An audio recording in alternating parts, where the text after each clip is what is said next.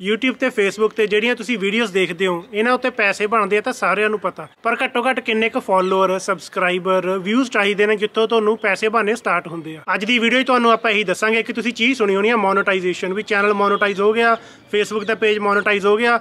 ਜਦੋਂ ਤੁਹਾਡਾ ਕੋਈ ਵੀ ਪੇਜ ਮੋਨੋਟਾਈਜ਼ ਹੋ ਜਾਂਦਾ ਵਾ, ਤਾਂ ਅਗਲੀਆਂ ਜਿਹੜੀਆਂ ਤੁਸੀਂ ਵੀਡੀਓਜ਼ ਪਾਉਂਦੇ ਹੋ ਜਾਂ ਵਿਊਜ਼ ਆਉਂਦੇ ਆ, ਉੱਥੋਂ ਤੁਹਾਨੂੰ ਪੈਸੇ ਆਉਣੇ ਸ਼ੁਰੂ ਹੁੰਦੇ ਨੇ। ਸੋ YouTube ਦੇ ਉੱਤੇ ਤੁਹਾਡੇ ਕੋਲੇ ਘੱਟੋ ਘੱਟ 1000 ਸਬਸਕ੍ਰਾਈਬਰ ਹੋਣਾ ਚਾਹੀਦਾ ਵਾ ਤੇ ਟੋਟਲ ਵਾਚ ਟਾਈਮ 4000 ਘੰਟੇ ਹੋਣਾ ਚਾਹੀਦਾ ਵਾ। ਵਾਚ ਟਾਈਮ ਤੋਂ ਮਤਲਬ ਵੀ ਤੁਹਾਡੀਆਂ ਵੀਡੀਓਜ਼ ਕਿੰਨੇ ਮਿੰਟ ਦੇਖੀਆਂ ਗਈਆਂ ਨੇ, ਕਿੰਨੇ ਘੰਟੇ ਦੇਖੀਆਂ ਗਈਆਂ ਨੇ। ਤੇ YouTube ਇਹ ਕਰਨ ਵਾਸਤੇ ਤੁਹਾਨੂੰ ਦਿੰਦਾ 1 ਸਾਲ। ਸੋ 1 ਸਾਲ ਦੇ ਵਿੱਚ 1000 ਸਬਸਕ੍ਰਾਈਬਰ 4000 ਘੰਟੇ ਵਾਚ ਟਾਈਮ Facebook ਪੇਜ ਤੋਂ ਪੈਸੇ ਕਮਾਉਣ ਲਈ ਜੀ ਰਿਕੁਆਇਰਮੈਂਟ ਥੋੜੀ ਜਿਹੀ ਔਖੀ ਹੈ। ਮਿਨੀਮਮ ਰਿਕੁਆਇਰਮੈਂਟ ਆ ਜਿਹੜੀ ਤੁਹਾਨੂੰ ਚਾਹੀਦੇ ਨੇ 10000 ਫਾਲੋਅਰ 10000 ਘੰਟੇ ਦਾ ਵਾਚ ਟਾਈਮ ਤੇ ਉਹ ਵੀ ਸਿਰਫ 2 ਮਹੀਨਿਆਂ ਦੇ ਵਿੱਚ 60 ਡੇਜ਼ ਤੇ ਤੁਹਾਡੇ ਫੇਸਬੁੱਕ ਪੇਜ ਉੱਤੇ ਘੱਟੋ ਘੱਟ 5 ਐਕਟਿਵ ਵੀਡੀਓਜ਼ ਪਈਆਂ ਹੋਣ। ਸੋ ਜੇ ਤੁਹਾਡਾ ਇੰਟਰਸਟ ਹੈਗਾ ਵੀ ਫੇਸਬੁੱਕ ਉੱਤੇ ਤੁਸੀਂ ਵੀਡੀਓਜ਼ ਪਾਓ, YouTube ਉੱਤੇ ਵੀਡੀਓਜ਼ ਪਾਓ, ਕਿਵੇਂ ਉਹ ਤੋਂ ਪੈਸੇ ਕਮਾਏ ਜਾ ਸਕਦੇ ਨੇ, ਜਾਂ ਕਿਵੇਂ ਜੇ ਤੁਹਾਡਾ ਇੰਟਰਸਟ ਹੈ, ਤੁਸੀਂ ਲੋਕਾਂ ਨੂੰ ਇਹ ਚੀਜ਼ਾਂ ਸ਼ੋਅ ਕਰਨੀਆਂ ਚਾਹੁੰਦੇ ਹੋ, ਤੁਹਾਡੇ ਕੋਲ ਕੋਈ ਨਵੀਂ ਇਨਫੋਰਮੇਸ਼ਨ ਆ ਜਾਣਕਾਰੀ ਆ ਜਿਹੜੀ ਤੁਸੀਂ ਲੋਕਾਂ ਨਾਲ ਸ਼ੇਅਰ ਕਰਨਾ ਚਾਹੁੰਦੇ ਹੋ, ਤੇ YouTube ਤੇ ਫੇਸਬੁੱਕ ਬਾਰੇ ਸਿੱਖਣਾ ਚਾਹੁੰਦੇ ਹੋ ਤਾਂ ਹਾਂ ਚੈਨਲ ਨੂੰ ਜੀ ਕਰ ਲਓ ਤੁਸੀਂ ਸਬਸਕ੍ਰਾਈਬ ਮਿਲਦੇ ਆ ਅਗਲੀ ਵੀਡੀਓ ਦੇ ਵਿੱਚ। ਸਾਰਿਆਂ ਨੂੰ ਲਵ ਯੂ ਟੇਕ ਕੇਅਰ ਤੇ ਬਾਏ